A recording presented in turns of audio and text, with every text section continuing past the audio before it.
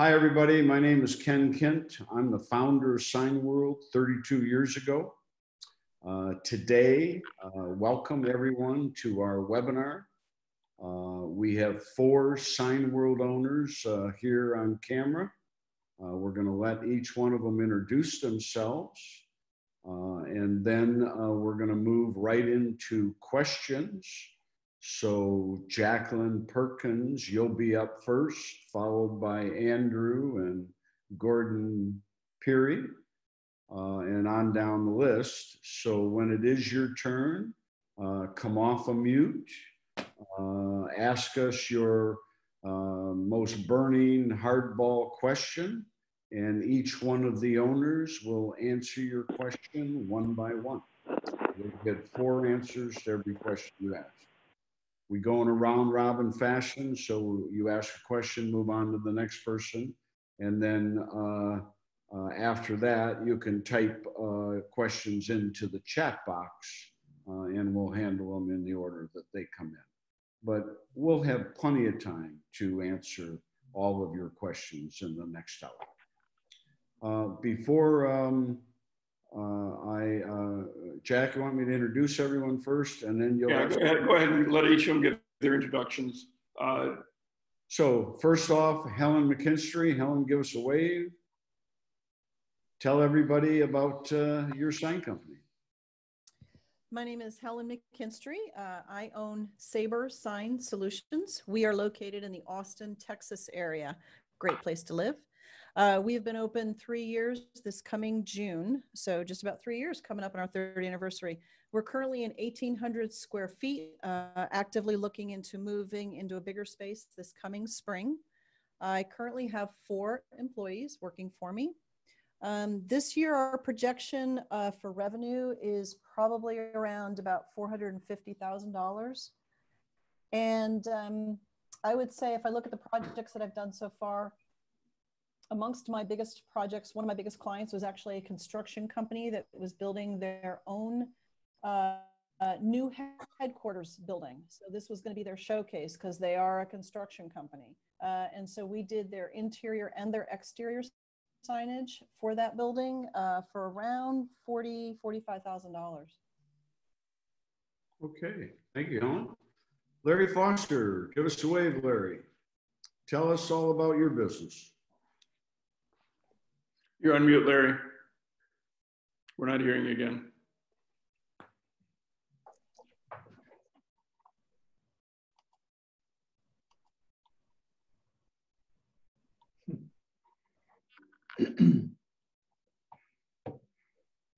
Ken, why don't you give Larry a minute, uh, go to Eric, and we'll come back to Larry in just a minute. I think, he's just connected. Are you there, Larry?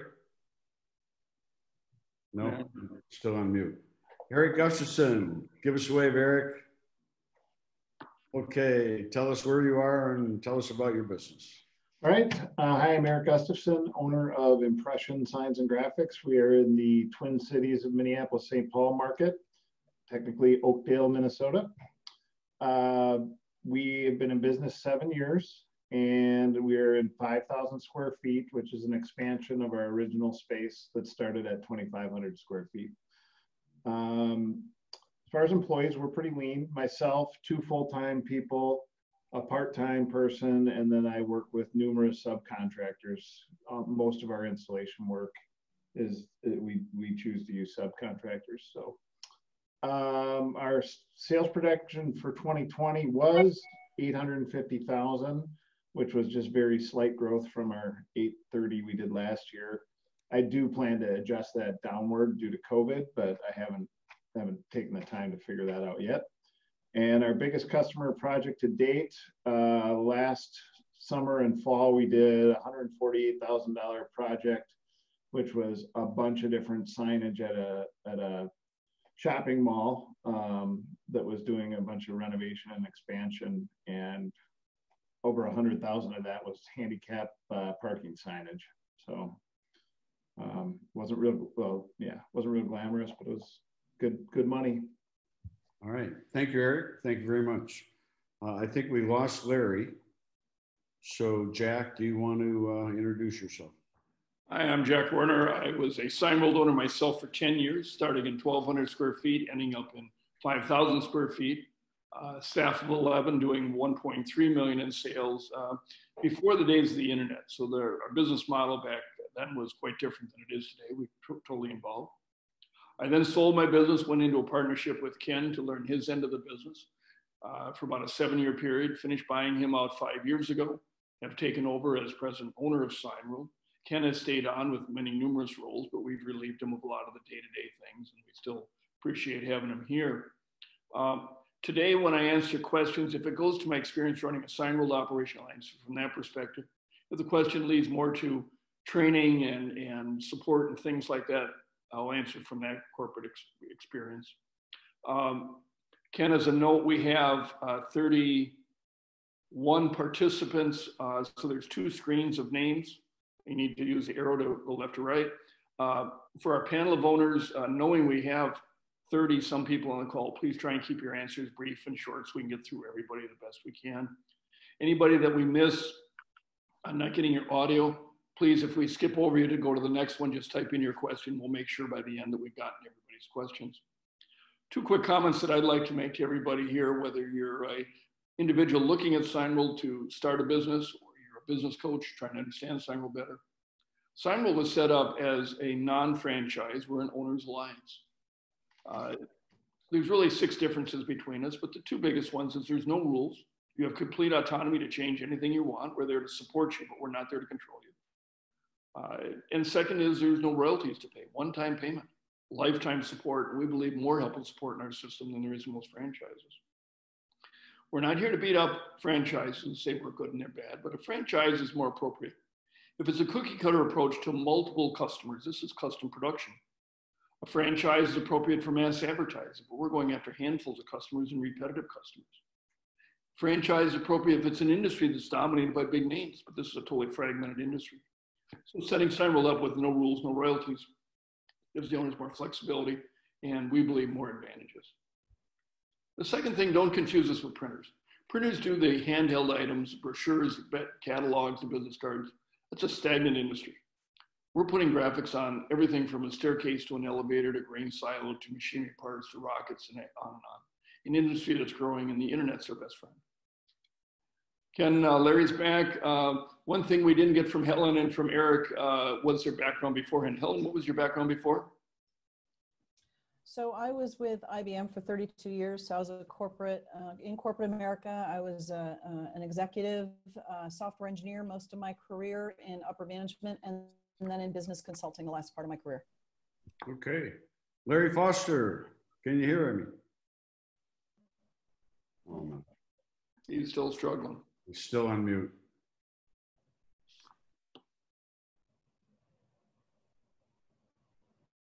Sure, or Dan, if you could call Larry on the side and, and see if you can walk him through and get him get him back in here, that'd be great. Or we're sending you to Detroit, Sheree, on the next one. Eric, what was your background before this?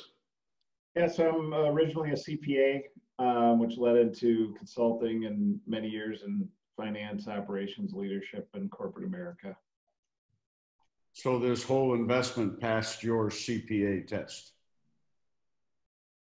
Say that again, Ken? Your whole investment in Sign World passed your CPA test standards. Yep, it did. All right.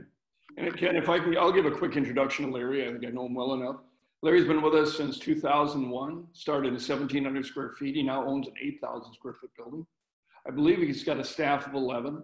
Uh, last year did about 1.7 million in sales and uh, came out of corporate America. He was a VP of operations for Kmart beforehand. Uh, I believe his largest customer is a chain of, of dental clinics uh, that he takes care of in a multi-state uh, area. And his second largest customer is a uh, junkyard. It's called Pick and Pull. They have 65 locations. That's where you go to the junkyard, you pull the bumper off the car, take it to the office, weigh it in, and pay by the pound. Uh, Larry gets orders for pick and pull junkyard signs every day of the week. Every day of the week, one of those 65 locations is ordering some kind of signage. Um, okay, well, should we start out with Jacqueline Perkins? Jacqueline, do you want to come off of mute? Go ahead, Okay, Jacqueline. hello. Yes, hi.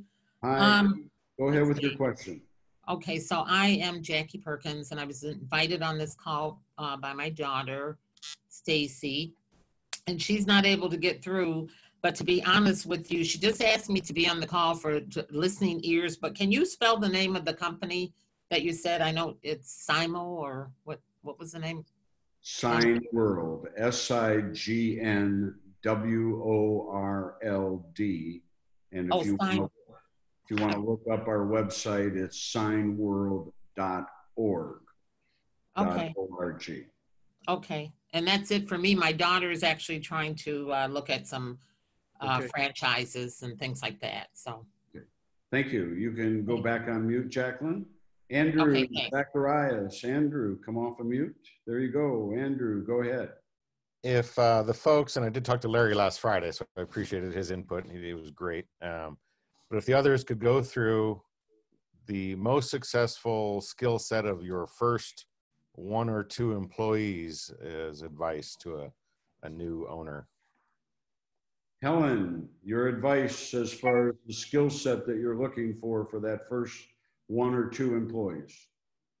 Okay, so for the first employee, you definitely want somebody who is an experienced sign maker. So you are looking for skills, for very specific skills to help you get started. Beyond that, you're going to be looking much more heavily at adaptability, uh, willingness, and um, ability to learn and grow, uh, and a positive attitude. So you're going to be looking for those softer skills much more than the harder skills after that first hire. Now, you still want your first hire to have those skills, but the first hire is also critical to get some of those hard skills to support you as you're opening. Eric Gustafson, your thoughts.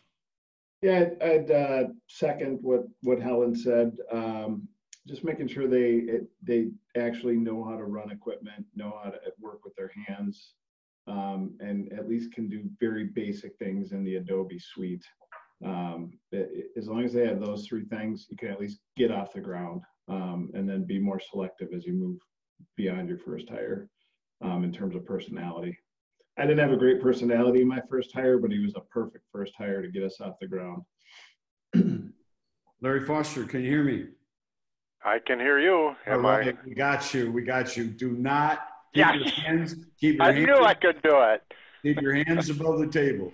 Okay, so Larry, the question is, tell us the skills of the first and the second hire. Is it true, Larry? How many years you been in business now? Uh, 19 years. Go ahead and introduce yourself. You didn't get the chance yet. Okay. Well, I've been in business for 19 years. The name of my company is Signs and More. Um, I'm in my third location. I started off in 1,700 square feet, moved to a 4,000 square foot building, and I purchased about 10 years ago an 8,000 square foot building. Um, we have 11 employees, and we do about 1.7 million in, in sales. And Larry, what did you used to do? Um, I used to be, when I left, I was the uh, vice president of operations for Kmart. Okay. And Larry, is it true? 19 years in business and you still have your very first employee? Uh, that's very true. Yes. Tell us about the skills that you're looking for in your first and your second employee. Well, uh, the first employee, it, it need to be mostly a sign maker. Uh, they need to know how to make signs, how to do basic, uh, simple installations. And it's great if they know uh, a little bit about design work, very limited, taking somebody's logo and putting some words with it. Um, but as important as that, it's got to be someone that you get along with. They have a nice personality because you're out doing networking things, going out seeing customers, and they're in the building. They are representing your company, so the, their personality side is important. And then beyond that, then you start adding and getting a little more specific. Maybe you bring in somebody with a design background, and you let that original person do all the sign making. Uh, and then you start hiring for just attitude. Okay. Thank you, Larry. Jack, your thoughts. We'll give you the ads to place. We'll tell you where to place the ads. That first person is a journeyman with 5, 10, 15 years experience. This is their career. They can design the sign, they can print the sign, they can assemble a sign, they can install the sign. First one needs to have the talents, then from there it's hiring from attitude. We, Sign World, we will help you find that person. We will interview them. We will test them. We'll send them down the street to another Sign World owner to evaluate them for you. And then once you hire them, they can go to all of our training programs, no extra charge. Randy, come off of mute. Randy. Good morning or good afternoon for you guys. Uh, my name is Randy George. I'm calling from Honolulu. Um, I was invited on here uh, by Dan Warner um, because right now, currently, we live out here, but we're trying to make the transition to Florida to be closer to family. And everything I've looked at online about Sign World, I really like. Um, I guess I kind of got the answer, the question answered about in, in like in layman's terms for somebody who's not been in the sign world business. Yes, I bought signs before, plenty of them, um, but not knowing anything about uh, making signs, the design. How difficult is it to get in this business? Um, Helen, not knowing anything about signs, tell us what it was like getting into it. Well, I didn't know anything about signs, um, but again, I hired an experienced sign maker, somebody who knew some design skills, Adobe Illustrator, somebody who'd assembled, could install. Um, and you know, you've got quite a lot of uh, training uh, material available to you through Sign World's training, um, you know, through through webinars that are offered through Sign World. Uh, and there's an amazing owner network. So if you come across a sign and you don't have a clue about, all you do, all I did was post something out on the Sign World forum or pick up the phone and call another Sign World owner and say, what is this and what do I do with it? And so that kind of support structure behind you is really what you need to get going. You don't really need to understand signs coming in. Eric Gustafson, what was it like for you? Um, yeah, I, I, had zero experience in signs. I didn't know anything about signs. Um, but I, you know, if you have a general sense or business acumen and a little bit of versatility and skill in terms of being able to manage people, talk to people, know enough about numbers that you don't get overwhelmed by them. I mean, any, I don't want to say anyone can do this, but um, anyone that's fairly well rounded can figure it out. It's, it, I mean, signs are not that complicated once you once you dive into it. I thought they were, but you know, seven years later, it's like, we'll solve. It's just it's just a series of pr- problem solving. So, and that's what we do for our clients every day. And it's not rocket science. Larry Foster, your thoughts? Oh, no. Larry, you went on mute again. Larry, you're on mute again. Here you are. There, I think I'm, am I back on? Yes, Okay. When I started, uh, I didn't know anything about signs, and when by the time you get done with all of your training, you certainly know a lot more than your customer's going to know. So it really comes down to having the business background and then gathering information at the customer, bringing it back, and you have that experienced sign person that helps you with the the actual signage part of the business. Jack Warner? Randy, in 32 years, we brought in hundreds of sign world owners that not only still are part of the system, but have run a business successfully retired out. Out of all those hundreds, one had sign experience. We were more apprehensive about him because we had to retrain him. We're really looking for your project management skill, your relationship building skill. You're going to hire the staff, and we're going to teach enough about signs. You can be fully capable of running a very successful sign company. Okay. Gordon Peary? Gordon, am I saying it right? Come off of mute. Oh, go ahead. Well, thank you, Ken.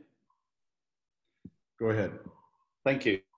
Folks, um, everybody seems to be from a sort of different background in business before. And Eric started to go towards my question, which is as you started out, what do you think the most important attribute you brought to the table for yourself in growing the business was or is that you need? Helen, what was the most important attribute you brought to the table?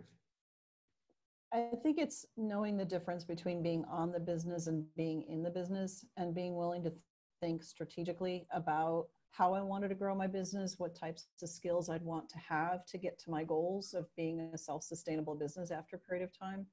So, so you know, again, really, I think the skill is business skills more than anything, managing people, developing relationships with customers as well as vendors, subcontractors, and others. Um, and again, being on the business and being willing to think about what do I need to do to help grow that business over time.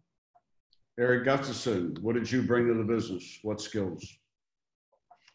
Uh, I mean, just general business skills. Um, it's just kind of who I am. But um, what I was going to say that that I think I bring that differentiates and, and is critical to our success is a passion for um, exceeding expectations for customers. So that's what keeps me up at night is how are we the, the, fear of failing customers. And because of that we go the extra mile to satisfy customers to get it right for them and come up with great solutions.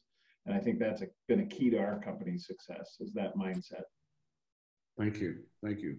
Larry foster what attributes did you bring to the table when you started your sign company well, I, I think it's the the business background. Your customers are business people, and when you walk in and and you have a solid business background, I think that comes across. And I think a lot of the other competitors just don't have that kind of a background, and I think it it makes you stand out. Jack, as Larry said, most of our competition are former sign makers trying to run a business. We're trying to take business people and teach them how to run a sign manufacturing company. We're putting a professional approach to an industry that's been around for a thousand years. Okay. Uh, George, without a last name, George, come off of mute. Tell us your last name, George. I'm George Matz, M as in Mary, A-T-Z, St. Petersburg, Florida. Uh, we've been talking to Jack for the last several weeks, probably about four weeks now. And, and one thing that I've, my main concern has always been, this is really a, the way I see it.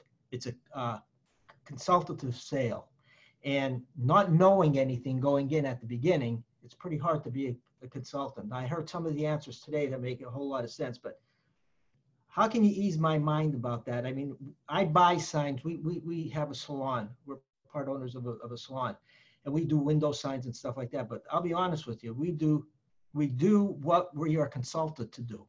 Uh, we're, we don't have any ideas. I mean, our sign maker, we rely very, very heavily on from a creative standpoint, not hanging the sign or anything like that, but from a creative standpoint.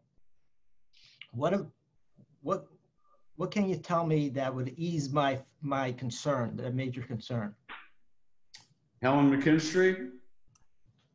So I think, you know, I, I completely understand that concern, but I think you'll be surprised at A, how quickly you will start learning um, B, you use some of those consultative skills that you already have that, that engage the customer in asking lots of questions so that you're starting to, independent of your understanding of signs, you're starting to understand, you know, what, are, what is he going for? Is he going for branding? Is he going for visibility? Is he going for low end budget, you know, base functionality versus high end? Um, so use those consultative skills you already have to, to engage with the client asking questions then take what you learn from that conversation and reach out to some other sign world owners. Go back and forth with them, talk to your designer or your sign maker on staff. So you'll quickly develop those skills. In the beginning, you've already got some of those skills that help you with that initial conversation, and then you've got a great structure around you to help you with the rest. Eric Gustafson, your thoughts? Um, yeah, but I, ever since he said St. Petersburg, Florida, I can't get my mind off of one of my favorite meals at this place called the Central Avenue Oyster Bar in St. Pete. They have this crawfish pasta. It's like I, I, I want to go there for that. I hope that place makes it through COVID. Anyway, I forgot the question.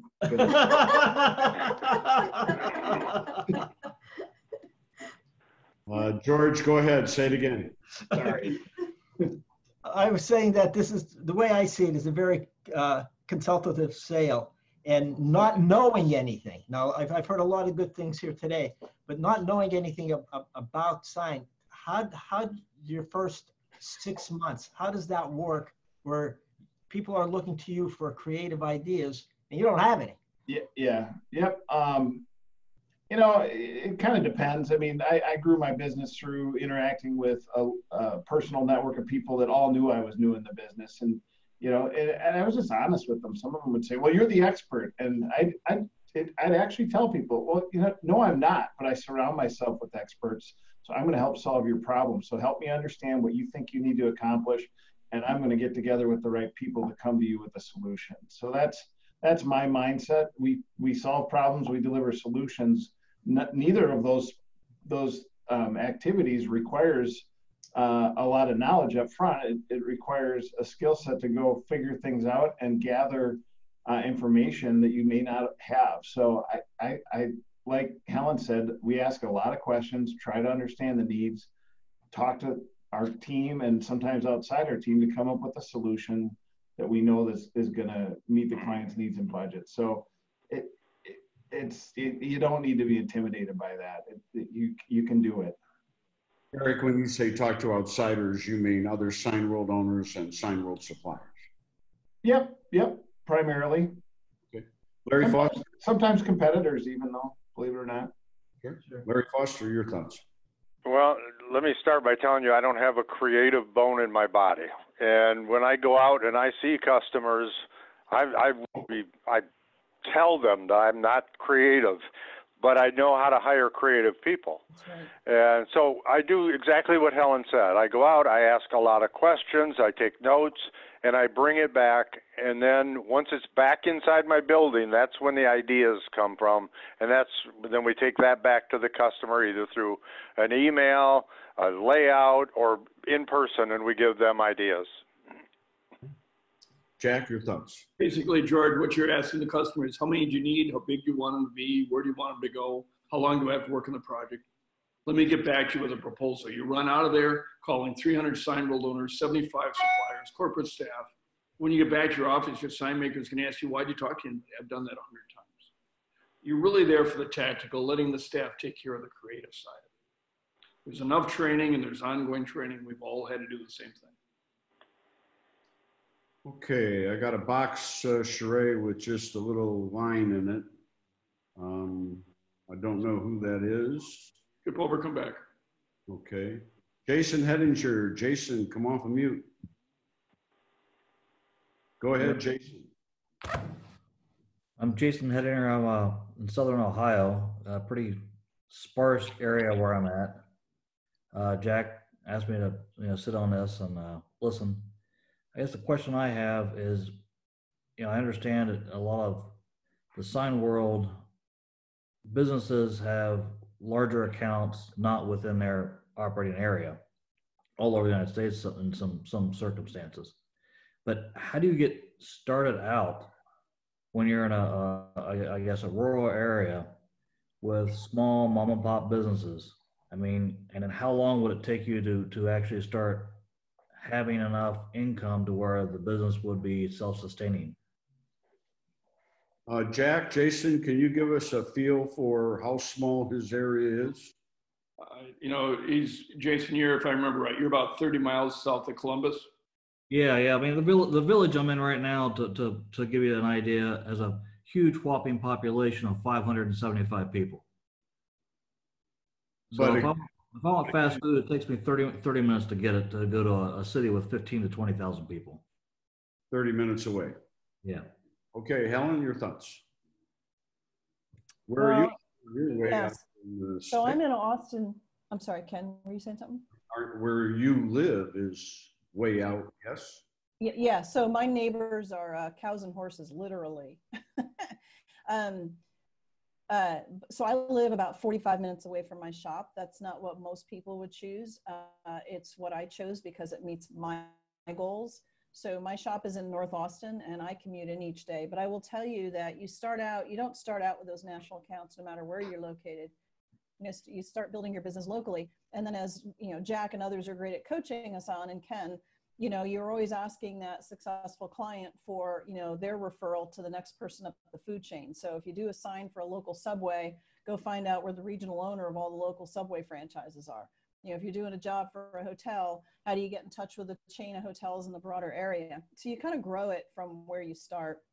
Um, but for me you know again i live out in a very very rural area. I chose to live here and i commute into uh, into northern austin every day and, and we've been very successful being able to grow there Okay. Eric Gustafson, your thoughts on Yeah, I, I, I mean, I live in a urban, suburban, I guess, uh, area and commute 15 minutes to our, our office each way. So I may not have the best perspective, but it, it my, what I feel like I've seen from people who are in, in a more rural or out there setting is, you know, you need to, you need to figure out a way to build relationships in the surrounding communities. And once you do that, relationships are huge, uh, huge in terms of success because you're not just a solution provider. You're, you, people, people in those types of communities really want somebody they know, trust, and, and want to work with. So um, that would be, I think, a key to success in that environment. And Larry Foster, don't you live uh, pretty far out in suburbia?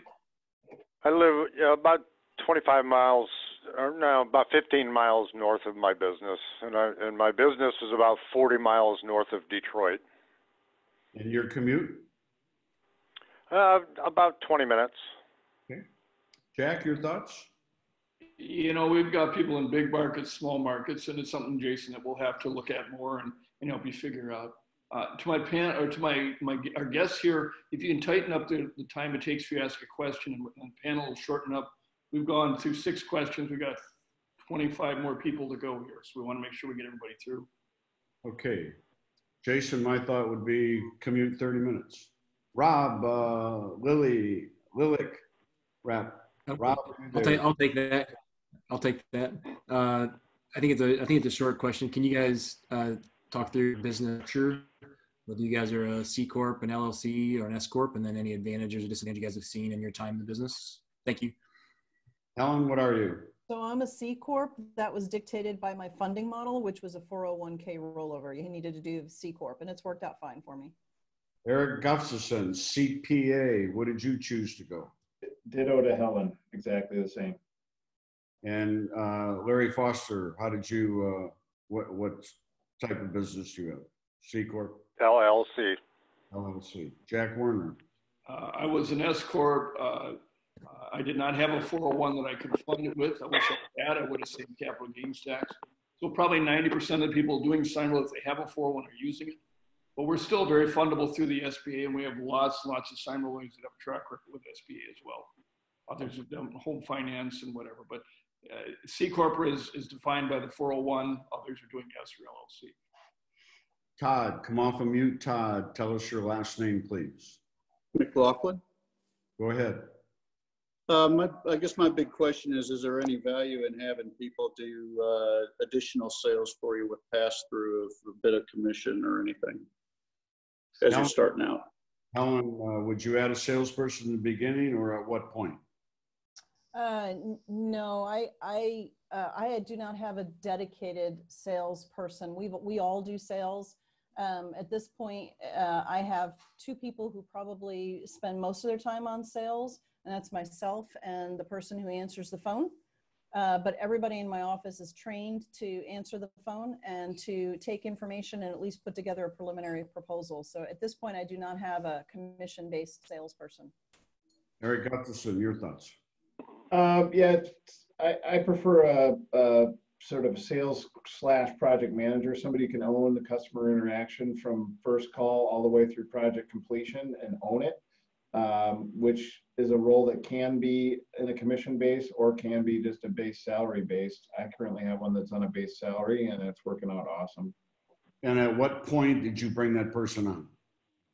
Uh, I brought him on two years ago, then he left and I, and I cried and then I got him back and I rejoiced. Okay, so you were already in business how many years before you brought him on? Oh, like five. Got it.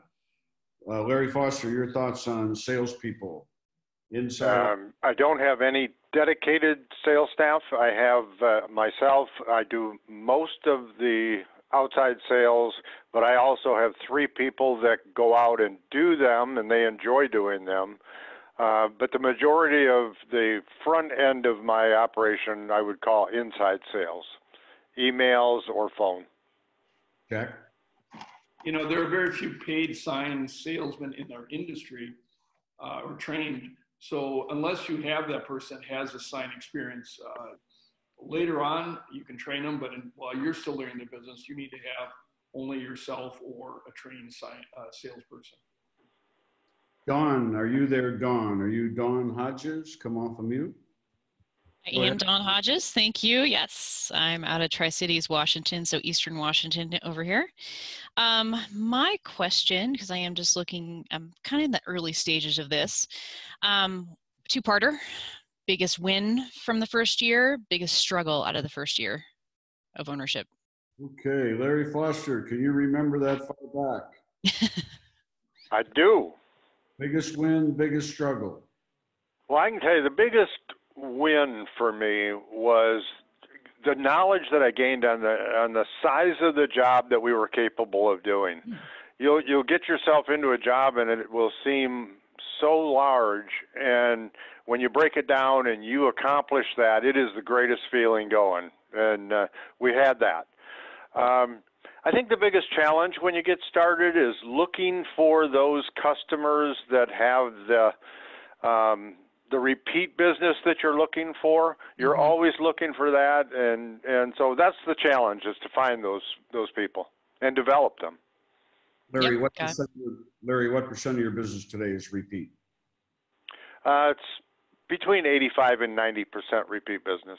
Okay, Eric Gustafson, your thoughts on biggest win, biggest struggle in the beginning? Um, so uh, thinking back to my first year, biggest win, I remember we got a twenty thousand dollar order to put a bunch of dimensional letters on some existing monument structures in a housing complex. And I was like, wow, we got a twenty thousand dollar order right away. That, that, that like made that month profitable. And I was so excited. Um, biggest struggle for me early on was the lack of knowledge and the lack of confidence in my own knowledge um, to make sure that I was I was providing the right solution and quoting the right job, coupled with um, my misunderstanding, uh, or maybe that's the wrong word, but not everything goes right when you're doing a custom job shop. There's there's occasional rework, there's things like that, and accepting that a small amount of that will always happen Yeah. a little while. Um, you know, you got to minimize it, of course, to be profitable, but accepting that it isn't always perfect uh, was a struggle for me. hmm Helen, biggest win, biggest struggle. Um, so I think, you know, biggest win was w- when we won a job that had quite a bit of, uh, quite a few different types of signage in it. Um, it was also our biggest, our biggest project. It ended up being around forty thousand dollars. Um, you know, biggest struggle. I, I look at it as, as as a win at the same time, and that is when projects don't go right, right? And in the midst of Mhm. it, you just feel this thing in the pit of your stomach. But what we've learned from every single one of those is what we've learned from every single one of those, and Right. every single one of those Tuition. we're able to say, this is what we learned. This is how we're going to be smarter about the next one that we do. This is now how we're going to be smarter about how we talk to our clients. And so every one of those, those problems that we hit along the way was just fodder for growing our expertise and growing our business. hmm Jack? My biggest win was how quickly I realized that I'd made the best business decision in my life. I couldn't wait to go to work, and the days went by so fast, and I just had a ball. Uh, biggest struggle was just really figuring out who is the right customer and what are all the different choices for it. But that's a learning curve that goes on. It really is a blessing in the business long term. Makes sense. Bob, come off of mute, Mark. Go ahead, Mark. Hey, thanks for having me on. I don't have any questions. I'm just here to listen, and I appreciate you guys and the time that you're putting in. Thank you, Mark. Ben Lockett, Ben, come off of mute. Go ahead, Ben.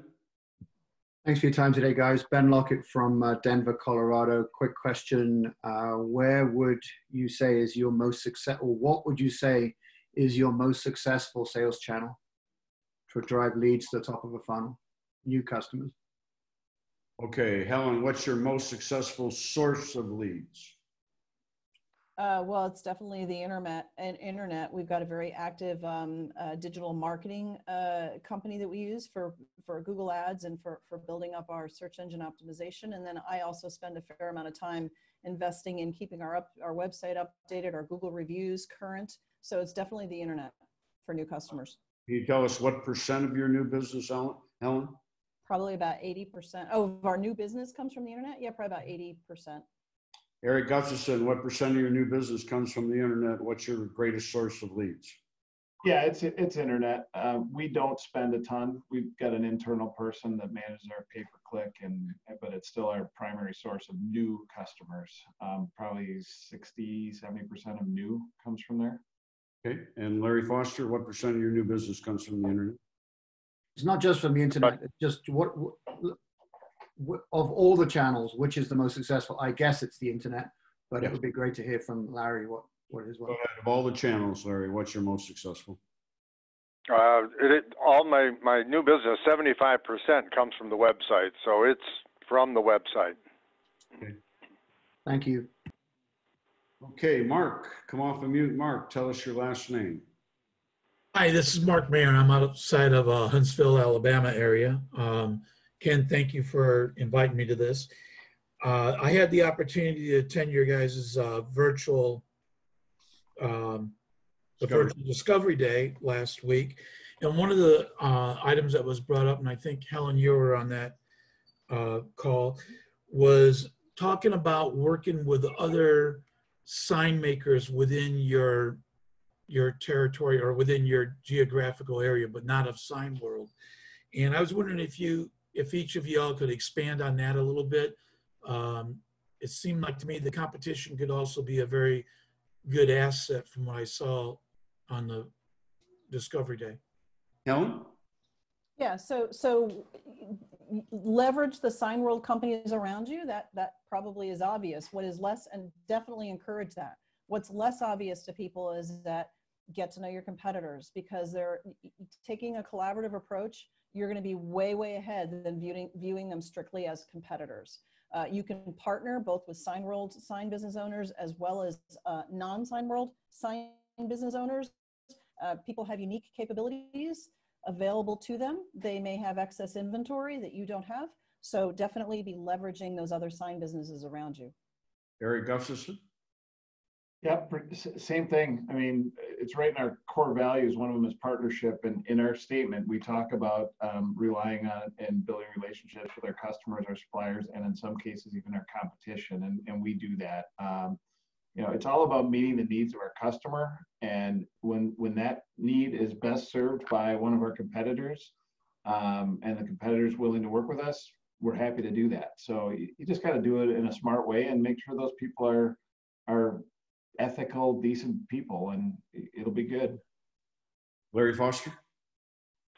Well, we've probably got about 10 Signworlds right in my market, very close. We all work very well together. We work on projects together.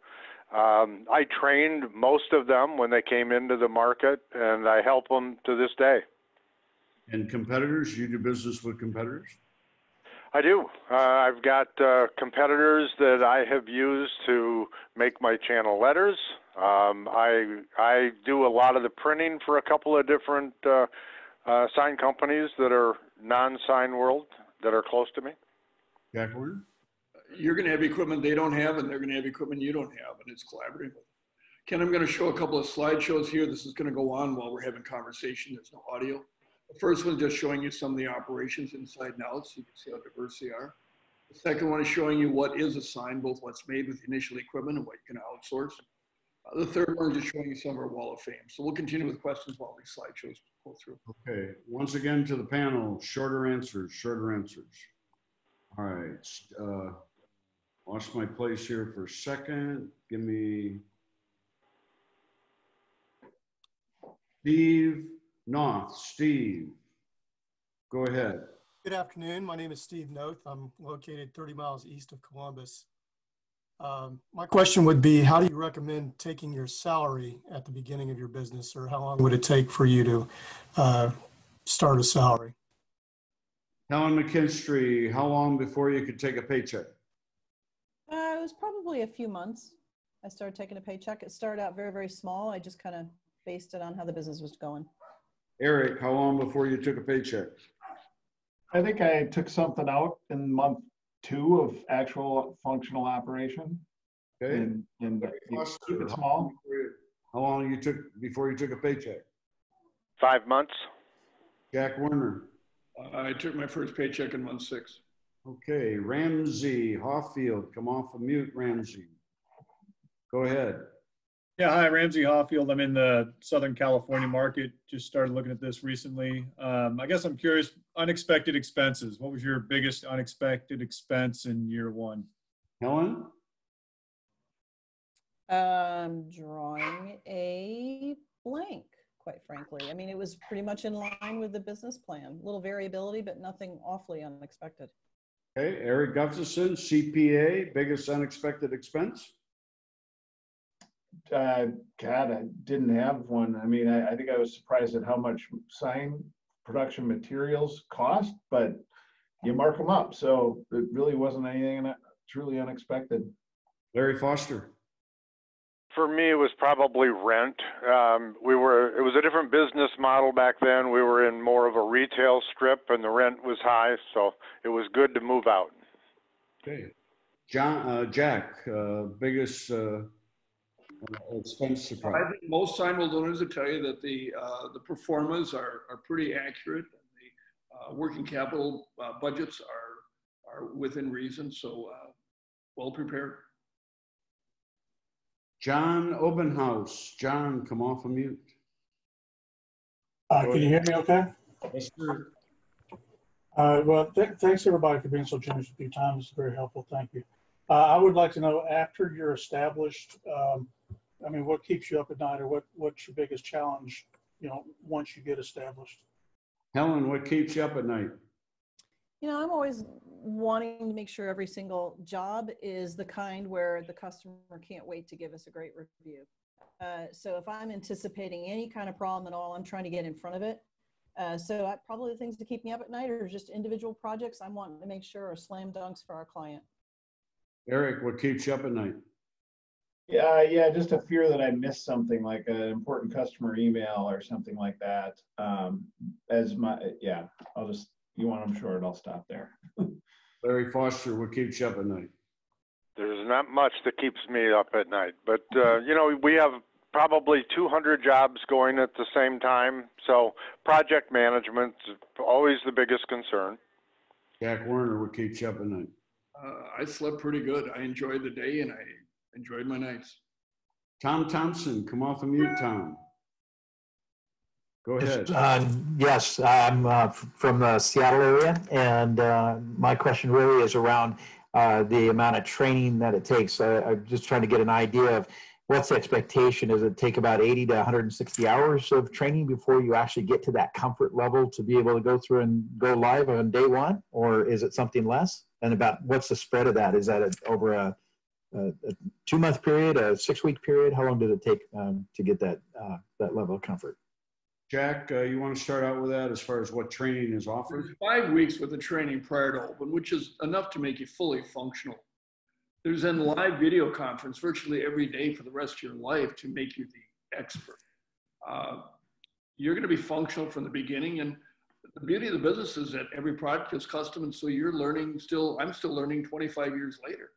Uh, if it was a business where every day was the same, I'd go bored silly. Okay. Talat, Kamal, come off of mute, Talat.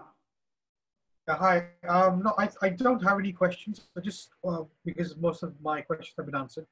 One small caveat is how long did it take to feel comfortable? I mean, when you, when you started off with your, you comfortable. Helen, how long did it take for you to feel comfortable? I don't know, maybe uh, that's a hard question to answer, two, three, four months. But to be honest, the day I start getting too comfortable says we've stopped learning, says we're stopping, we've stopped pushing ourselves. So I, I actually get nervous when we're feeling too comfortable. Eric, how long did it take you to get comfortable? I'm, I don't know. I, I'm never fully comfortable, but you know, I, a couple months and I was functional. okay. Larry Foster, how long to be functional? How long to be comfortable?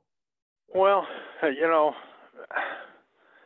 I felt confident when when I was done with the training. I felt confident, but uh, comfortable. You always have that little bit of anxiety when you're going out to see customers the first few months until you find out how easy it is. Jack Warner. You know, I, I think they've all answered it well. It's it's a relative thing that grows, but uh, was comfortable quite quickly. I had a great support team around me for any questions that I didn't have an answer to. Rich Waldis. Rich, come off of mute. Hello, Rich Waldis. Go ahead. I'm here. I'm all, I do these all the time, and I'm really still really slow on the mute button. Uh, I'm from Atlanta, Georgia, or north uh, northeast Atlanta, Peachtree Corners area. Um, some great questions and answers. I, I, don't, I, don't, even know where to go, but I guess you know I'm gonna I'm gonna take the non-business one. I want to know we we're doing this for not only uh, financial reward and and um, uh, the reward of being an entrepreneur, but part of this is for flexibility. So I want to know what you guys do uh, and for fun and what you get to do. How how often do you get to take some uh, opportunity for some time away from the business? Larry Foster, how often do you play golf during the week? Uh, I play golf three days a week. and uh, trips with your spouse, Larry? Um, I you go to Punta Cana in January, February. I go to Traverse City um, in June, and I take three fishing trips a year. Eric Gustafson, how many years you been in business, Eric? Seven. Seven years. Tell us about time off, fun, golf, whatever you do. Yeah, I golf. I'm not as regular as Larry, but uh, I definitely uh, get out. I've played eight times this year. I um, you know, we've gone on family vacations. We have a property in northern Minnesota with that we camp on. I'm going there tomorrow. I'm taking an extra long weekend. So, um, yeah, I get out. Helen. We uh, so I've been in business three years. Um, we I'm taking more vacation, real vacations now than I did before I retired from my corporate job. We have a little house in upstate New York in the Adirondacks. We go up there a couple times a year. Um, uh, you know, I'm taking trips later this year to take both of my colleges, my both my boys off to college, uh, and uh, you know, again, I'm I'm actually able to schedule that time away a whole lot more successfully than I did in my old life. Bernard, come off of mute. Bernard. Oh, I'm sorry, uh, Jack Warner, time off. You know, I was on Little League field at three o'clock in the afternoon, four days a week, uh, manage my boys' teams. Uh, a small business will take as much time as you give it, uh, but you got to discipline. So this is a Monday through Friday business. You close nights, weekends and holidays. I took my first week's vacation at six months. There are some Signworld owners who will say they have never, never missed a kids event, no matter what time of the day, what day of the week. Bernard, come off of mute, Bernard. Go ahead. Uh, yeah, good afternoon. Can you hear me? Yeah, a little louder, a little louder. Turn your volume up, get closer to your microphone. Okay. Is it better? Better, much better. Okay. Yeah, good morning or good afternoon, everyone. Uh, my name is Bernard Berba. Uh, I spoke to you, Ken, the other day, so I'm in uh, San Diego, California. A lot of my questions have been answered, but I, I have a, a couple here. So the first one, if you're not comfortable or have limited experience in doing sales, marketing, business development, eh, how do you overcome that? Or, um, you know, um, is there, are, there, are there trainings available? Um, then I heard uh, about wins and losses. You know, um, there. Do you have a list of the reasons why you lost some of the projects that uh, got into you? And then I uh, one last question is the equipment. Bernard, I heard that Bernard, just questions. one question, please. Okay, that's it for me. So let's take the sales question. Okay, Larry Foster. Bernard has no sales experience at all. How will he overcome that? Well, I most of the Signworld owners that that I know didn't have any sales experience. And it really isn't a sales call. It's what worried me so much before I got started. You're really going out to see a customer and you're finding out what they're looking to do. You take pictures, you take measurements, and you come back. But you're you're not out there just trying to sell. It's a it's consultation. Okay, and Chris or Eric Gustafson. Uh, Bernard's not a salesman. What are your thoughts? Yeah, um, I I just fall back on being honesty and tr- honest and uh, real with my customers and and and have a conversation and help them solve problems and and that's worked for me. Helen? Yeah, it's the same. I mean, focus on it being a relationship you're building, a conversation you're having. Don't focus on it being a sales call. You're there to get information. You're there to inquire. You're there to find out what they're interested in, what their questions are. And uh, as Jack and Ken will tell you, there is a sale, weekly sales and marketing training available, and you can always tap into that as well. Jack? Sales is convincing somebody to buy something they didn't plan to buy. We're having customers contact us because they have a need. We're consulting with them about their need. 90% of loans have never done any kind of sales before. It's all consultative.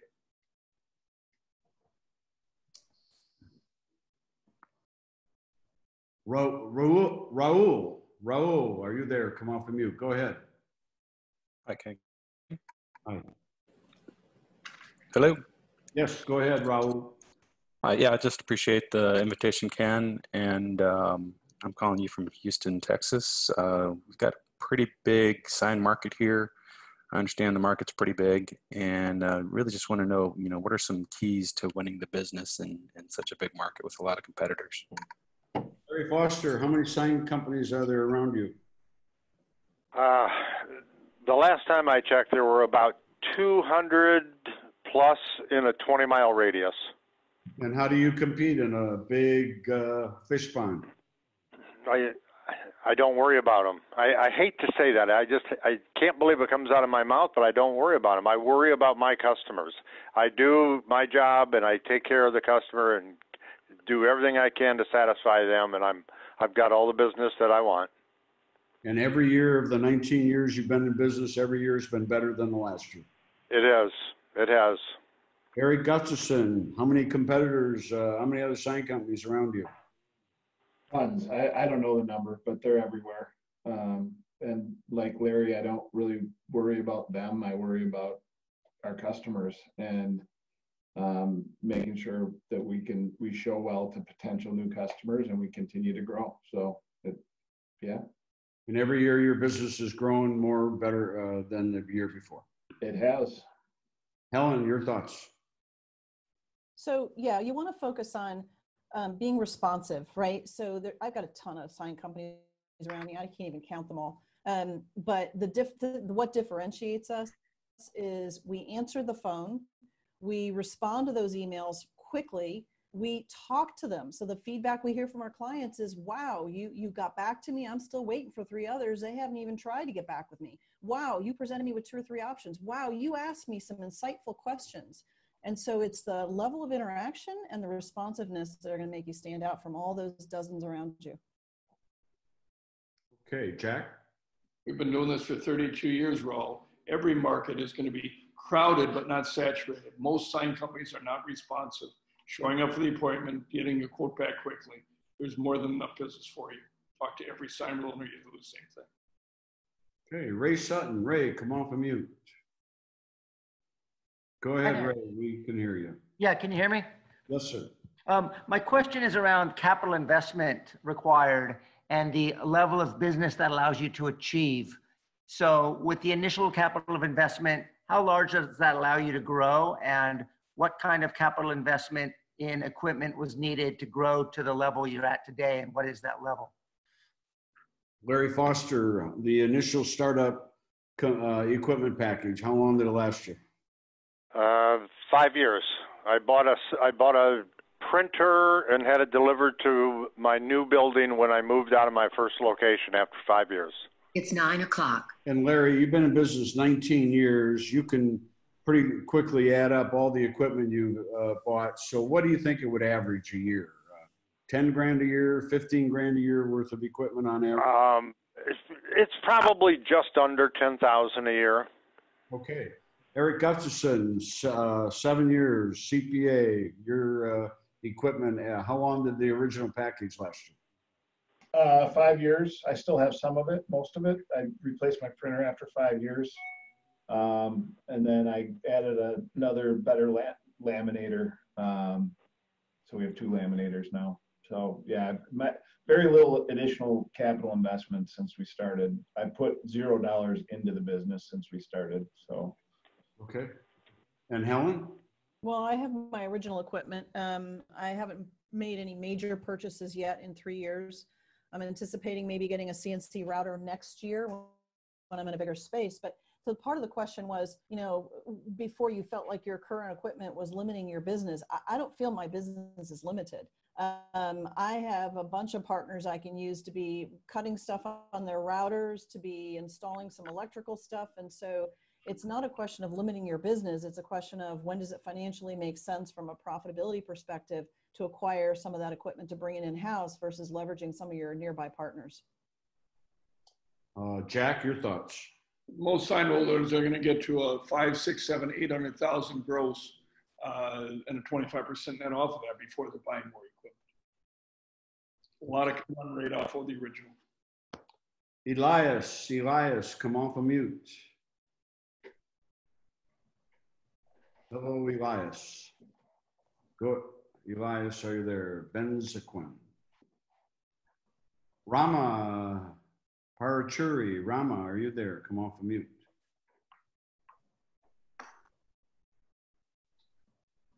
Stacy Sonora, Stacy, come off of mute. Can you hear me? Yes, Stacy, go ahead. Okay, great.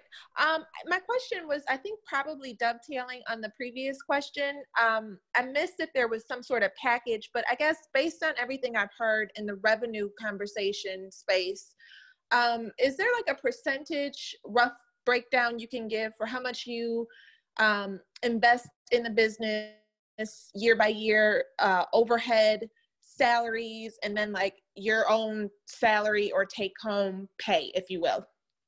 Uh, Just yes, like Stacy, hi- high level. Stacy, Jack Warner can send you a three-year plan. Say that again?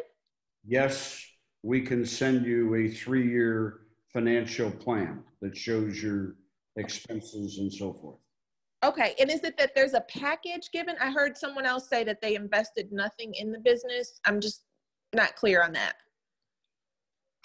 I said I've invested nothing additional since the initial investment. Okay, thank, you. okay, thank you. And the initial investment, Stacy, is 210 all in, 210,000 all in. Okay, thank you. in. We have someone, area code 248 951 2193. Are you, uh, would like to ask a question? Tell us your name, please. Tell us your name, please. Hello. Okay, we have another guest, area code 201 360 7555. Would you like to ask a question? All right, Jack, I hit the list, so we'll go to the uh, chat box, the Q and A box. Which one?